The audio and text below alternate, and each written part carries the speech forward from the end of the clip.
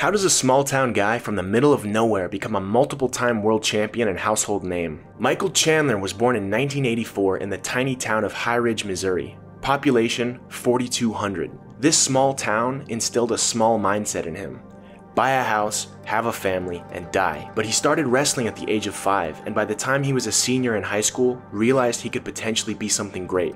This is where we start to see glimpses of Chandler's greatness. Well, Michael had broken his hand in football.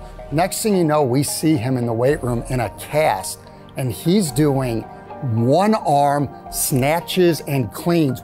Due to a combination of his work ethic and commitment, he made it all the way to the state finals his senior year, but he loses in an extremely close match. This is where he faces his first crossroads. He had a bunch of colleges that were going to give him a nice sum of money but the University of Missouri, the school with one of the most elite wrestling programs in the nation, only offered him a spot as a walk-on. A walk-on is being on a college team and receiving no financial aid. On top of costing more, walk-ons are notorious for not receiving playing time. The people in his life urged him to take the scholarship, but he chose to take a chance on himself and attended the University of Missouri. But everybody was, why are you doing that?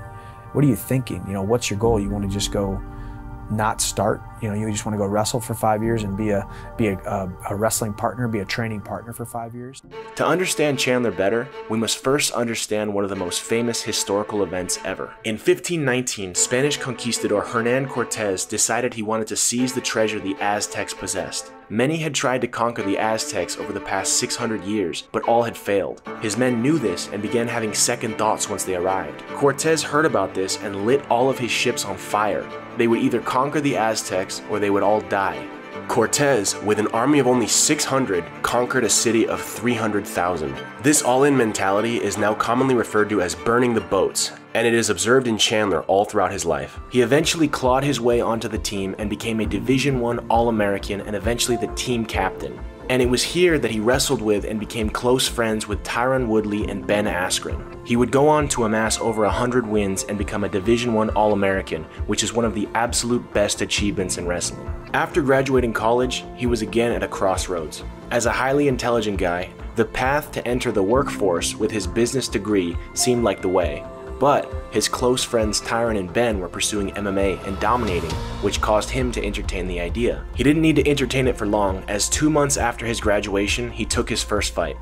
Michael Chandler. He burned the boats once again and chose the risky career over the safe path. Chandler would go on to become world champion within two years of his first fight, tapping out the Underground King Eddie Alvarez in November of 2011. Burning the boats works because your brain is programmed to seek comfort and safety. It will always pull you in the direction of an easier path. When you burn the boats and fully commit to a challenge, there is no easier path. The brain, still seeking comfort and safety, is now in a situation where the only way to comfort and safety is through the challenge, which leads to 100% commitment to that challenge. And being 100% committed is actually easier than being 99.9% committed. Because when you're 99.9% committed, you will face decision fatigue. Decision fatigue is the idea that you have a finite amount of mental energy each day, and every decision you make costs some of it. If you have a difficult path and a safe alternative, you will spend some of your mental energy every single day deciding whether to stay on the difficult path or not. When you remove the safe alternative, there is no more decision fatigue, as there are no other options. Every ounce of your mental energy will now go toward achieving the goal and not the alternative safe route. It's why Michael Jordan said, Once I made a decision, I never thought about it again. He fights like he's willing to die because every ounce of his being is committed to his goal of becoming champion. In Bellator, he would defend his belt three more times before his first loss. And that stemmed into another loss and another loss. I actually lost three fights in a row, 688 days without winning a fight. Despite 688 days without a win and a lot of time to sit and stew in that self doubt, he knew he could get back to his winning ways. He would go on an incredible winning streak and challenge the reigning champion in an attempt to reclaim his belt. He dominates the fight, reclaims his belt, and is once again world champion. Now one of the biggest names in Bellator, the safe path would have been to stay there and collect his checks until retirement. But he wanted to prove to himself that he was the best lightweight alive, and, you guessed it, burn the boats. It's Michael Chandler, who is now a UFC lightweight, introducing him like that for the first time. He also has identity capital on his side. Identity capital is ownership over your past.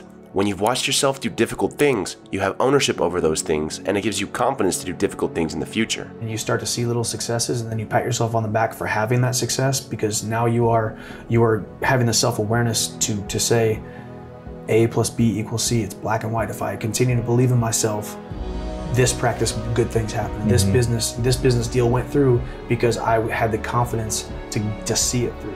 Chandler's successes range from going from a walk on to an All American, going from an amateur fighter to a professional world champion, and going from Bellator to breaking into the UFC top 5. At every crossroads of Michael Chandler's life, he burned the boats and chose the riskier option. And each time it paid off, it gave him more confidence to take on bigger challenges. Going all in on himself maximized his odds of succeeding each time, and even if he failed, he would rather fail while daring greatly than never dare at all.